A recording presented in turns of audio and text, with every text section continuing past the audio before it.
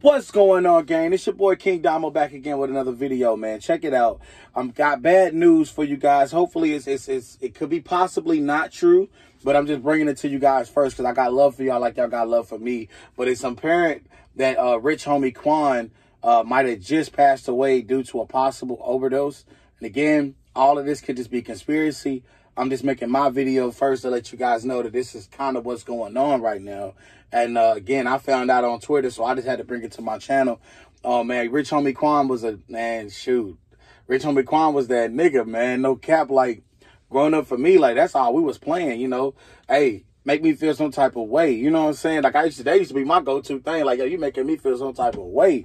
So just know, like, man, we used to really get, we used to get real locked into uh, Rich Homie Quan, man, back in the good old turn up days before the family and the kids. And the, I still play some of his music still to this day.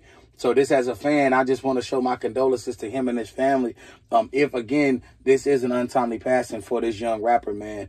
Uh, he was a great dude. I was I always thought he was solid, man, and I was expecting him to make a big comeback. And again, it's just unfortunate that he might have just again be uh, possibly uh, done in by an overdose, man. So uh, God bless you, bro, uh, and God bless you, you know, fans and everybody that's uh, checking out the video. I love you all. I'm gonna get up out of here, man. I still gotta keep running these loads, man. Niggas still at work, man.